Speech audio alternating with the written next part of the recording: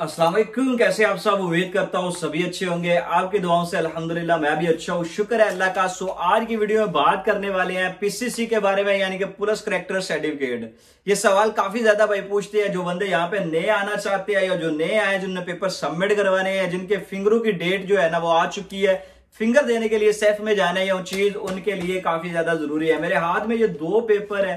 एक तो है अथॉरिटी लेटर और दूसरा है पीसीसी ये वाला पीसीसी वो है जो एक दफ़ा सेफ़ से चक्कर लगा के आ चुका है और इसने भाई के फिंगर जो है ना दिलवा दिया इसका मतलब ये मेरे हाथ में जो पीसीसी है, ये हंड्रेड टू टेन परसेंट जो है ना राइट है। मैं इसलिए आपके सामने ये वीडियो बनाने लगा हूँ क्योंकि मुझे जब तक जो है ना hundred to ten percent right information नहीं होती, मैं कोशिश करता हूँ उस टॉपिक को क्लोज कर दूँ या उसका रिप्लाई ना करूँ। या कह देते हो साफ़ कह देते हो, भाई, मुझे इस बारे में नहीं पता, आप किसी अच्छे बंदे से पूछ लो, मे भी के, वो मुझसे अच्छा गाइड आपको कर दे। सो बात को शुरू करने से पहले अगर किसी भाई ने बात करनी हो इंस्टाग्राम पे रहा कर सकते हैं, चैनल को सब्सक्राइब प्लस वीडियो को लाइक ज़रूर कर दिया करे, और प्लीज़ रिक्वेस्ट है कि चैनल को एक दफ़ा विज़िट लाजमी कर लिया करे, उसके बाद इंस्टाग्राम पे मैसेज किया करे।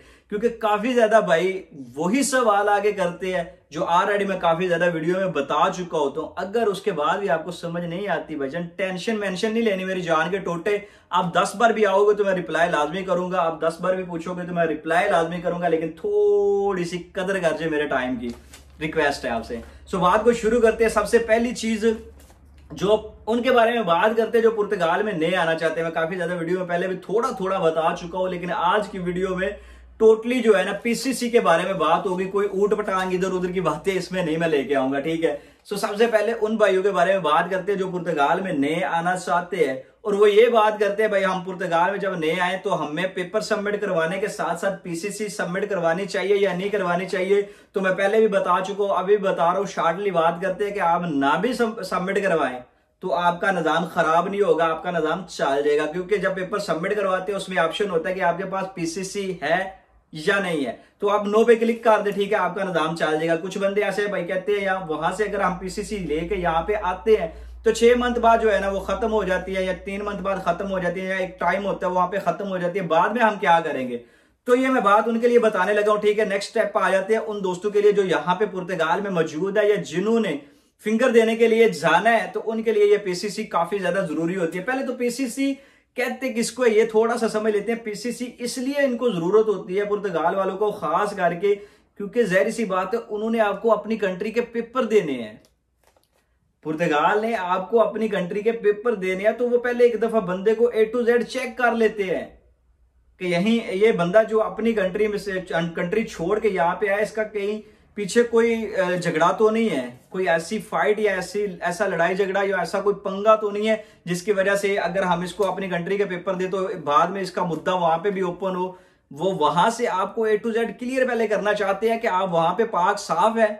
आपका कोई झगड़ा वगैरह तो नहीं? पुलिस के साथ कोई पंगे वगैरह तो नहीं? किसी किसी के साथ आपने चोरी चिकारी, झगड़ा या कोई फाइट या कोई कत्ल वगैरह तो नहीं किया? ये सारी चीज़ें इसी में आ जाती हैं। अगर वो पुलिस वाले, आपकी कंट्री वाले ये आपको पीसीसी बिल्कुल क्लियर देते हैं। यहाँ पे इसमें कोई मसला मसाइल नहीं है, कोई ऐसा केस नहीं है।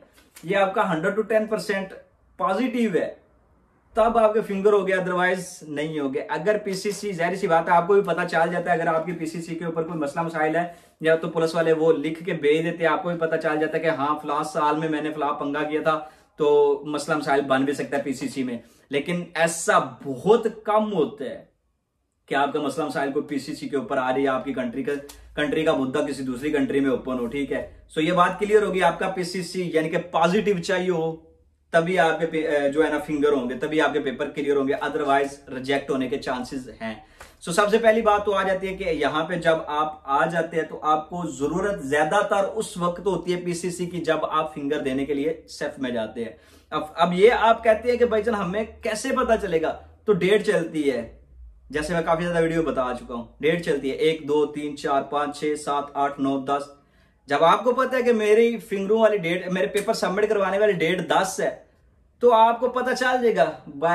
उधर फेसबुक के ऊपर काफ़ी ज़्यादा पेज बने हुए हैं। पुर्तगाल में काफ़ी ज़्यादा लोग रह रहे हैं। वो आपको बताते रहते हैं कि आज चार चल रही है, पाँच चल रही है, छह चल रही है, सात चल रही है, आठ चल रही है। आपको पता है चार चल रही है तो आप अपना पीसीसी बनवाना शुरू कर दें। आपको पता है आपकी ईमेल आ चुकी है। अब आपने फिंगर वाली डेट उठानी है, आपको मिल रही है तीन मंथ बाद की तो आपके पास तीन मंथ है तो अपने पेपर कंप्लीट करना शुरू कर दे। सो सबसे पहली बात तो आपने लिखवाना होता है यहाँ पे जाके अपनी अम्बेसी से अगर सॉरी मैं पाकिस्तानी हूँ तो मुझे पाकिस्तान के बारे में ज़्यादा पता है तो इसलिए मैं पाकिस्तान की बात करूँगा। आप पाकिस्तानी अम्बेसी में चले जाए, शायद इंडियन का भी यही हिसाब है कि इंडियन का कंफर्म नहीं बताऊँगा, क्योंकि ऐसे मैं लंबी लंबी छोड़ू, उसका फ़ायदा नहीं है। तो आप लोग अपनी अम्बेसी में जाएँ, ठीक है? बाई का बायोडाटा ऊपर लिखा हुआ है, इसलिए मैं यूँ करके नहीं दिखा सकता आपको। तो इसलिए मैं आपको यहीं से बता देता हूँ, ठीक है? आपने अपनी अम्बेसी पाकिस्तान वाली जो है, लिस्बोन में वहाँ पे जाना सुबह मेरे ख्याल में दस बजे ओपन हो जाती है या शायद आठ बजे नहीं, दस बजे ओपन हो जाती है, ठीक है? तो वहाँ पे जाके आपने उनको बोलना है कि मुझे अथॉरिटी लेटर चाहिए, ठीक है? तो वो आपका पासपोर्ट लेंगे, ठीक है? जिस बंदे के नाम पे आपने भेजना है ये बात को यहाँ पे दिमाग में अच्छी तरह आपने बिठा के रखना है कि आपने अपने वालद साहब या भाई के नाम पे भेजना। कोई भी ऐसा रिश्ता जो आपका मतलब अपना है, भाई हो गया, बहन होगी माँ होगी उसके बाद बाप हो गया, खूनी रिश्ता जिसको बोलते हैं, खूनी रिश्ते के नाम पे आप अथॉरिटी लेटर जो अथॉरिटी लेटर जो है ना, वो लिख के भेज सकते हैं। लास्ट टाइम एक भाई ने अपने कज़न के नाम पे लिख के भेजा, वो उन्होंने रिजेक्ट कर दिया, उनका नहीं चला। अथॉरिटी लेटर उसके सिक्सटी यूरो जाएँगे अथॉरिटी लेटर जो होता है ना, वो आपने अपने खूनी रिश्ते के नाम पे लिख के भेजना है, ठीक है? उसके लिए आपका पासपोर्ट चाहिए, ठीक है?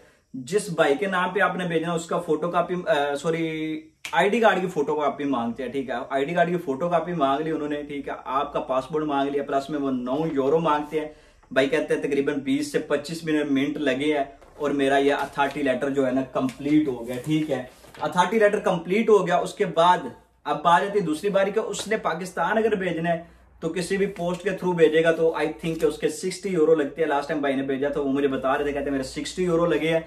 तो उनका चला नहीं था, क्यों नहीं चला था? क्योंकि उनका खूनी रिश्ते के नाम पे नहीं उन्होंने भेजा था, उन्होंने किसी कज़न के नाम पे भेजा था तो वो नहीं चला। आपने खूनी रिश्ता जो होता है ना, भाई हो गया, बाप हो गया, उसके नाम पे भेजना, ठीक है?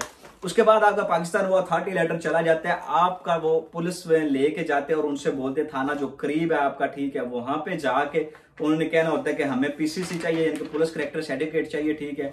तो वो आपको बना के देते हैं, उसके ऊपर लिख, आपकी पिक्चर लगती है पहली बात। उसके बाद आपका पासपोर्ट का नंबर डेट ऑफ़ बर्थ वाला साहब का नाम, ठीक है प्लस में आपका एड्रेस लिखा जाता है, ठीक है। हर चीज़ उन्होंने लिख के प्लस में स्टैंपे लगाई हुई है, मोहरें लगाई हुई हैं, ठीक है।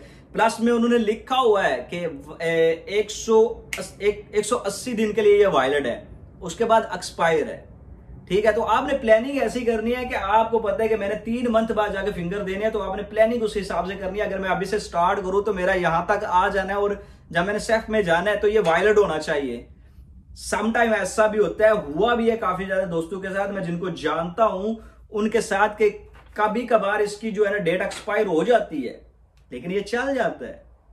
अब चलता कैसे है? वो सामने वाली कुर्सी पे जो बंदा बैठा है उस पर डिपेंड करते हैं। ज़्यादातर तकरीबन 99 परसेंट चांसेस होते हैं कि चल जाता है। अगर आपकी डेट एक्सपायर हो गई है मतलब पाँच दिन या दस दिन एक महीना दो महीने भी लास्ट टाइम सेफ़ ने खुद भी ए, ए, कुछ सेफ़, कुछ सेफ़ के बाद लिखा भी हुआ था प्लस में के जिनके पीसीसी साल के शुरू में बने हैं वो पूरा साल चलेंगे। जिनके साल के सेंटर में बने सेंटर में बने, उनके भी पूरा साल चलेंगे। यानी कि एक साल उन्होंने पूरा रखा हुआ था कि एक साल पूरा आपका पीसीसी चलेगा, ठीक है?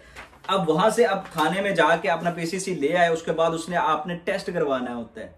जेरी ऑफ़ से टेस्ट करवाना होता है, उसके बाद फॉरन अफेयर ऑफ़िस से टेस्ट करवाना होता है, और वहाँ से फिर आपने पुर्तगाल में मंगवाना होता है। और एक बात आपने लाजमी याद रखनी है कि जब पुर्तगाल में आ जाता है, तब आपने किसी भी वकील से ये ट्रांसलेट लाजमी करवाना होता है। ट्रांसलेट अगर आप नहीं करवाते पुर्तगेशी लैंग्वेज में लास्ट टाइम मैं भाई के साथ गया हुआ था एक सेफ़ में तो उन्होंने दूसरे दो इंडियन भाई थे, उनके फिंगर उन्होंने नहीं लिए। क्यों नहीं लिए? वो भाई कह रहे थे कि भाई यार, हमने ट्रांसलेट नहीं करवाया, ना वकील की मोरे लगी हुई है। तो उन्होंने बोला, पहले इसको ट्रांसलेट करवाओ, वकील की मोरे लगवाओ, फिर हमारे पास लेके आइएगा। अब मसला बन गया, जो मेरे साथ भाई गया था, उसके तो सारे क्लियर थे, उसके फिंगर भी बड़े इजीली हो गए थे, ठीक है? अब जिसका ट्रांसलेट नहीं था, उसको टेंशन भी यहाँ पे दुगनी हुई टाइम भी वेस्ट हुआ, फिर वकीलों के धक्के खाने पड़े। लिहाजा आप अपनी प्लानिंग पहले से कर ले कि ये पेपर अगर पीसीसी मेरे का, मेरे पास है पुलिस करेक्टर सर्टिफिकेट तो पुर्तगाल में आते ही आपने किसी वकील को पैसे दे के उससे ट्रांसलेट करवा के प्लस में उसकी स्टैंपे भी लगवानी है। ठीक है? पीसीसी के बारे में आई थिंक अभी तक आपको काफ़ी ज़्यादा मालूम मिल चुकी होगी कि ये बला क्या है, ये चीज़ क्या है, इसको क्लियर कैसे करना है। और हम आपके लिए सबसे बेस्ट रास्ता कौन सा है? सो उम्मीद करता हूँ वीडियो आपको पसंद आई होगी। अगर कोई भी क्वेश्चन हुआ तो आप इंस्टाग्राम पे मैसेज कर सकते हैं। चैनल को सब्सक्राइब प्लस वीडियो को लाइक ज़रूर कर दीजिएगा। सो मिलते हैं नेक्स्ट वीडियो के साथ। दुआओं में याद रखना। अल्लाह हाफिज़।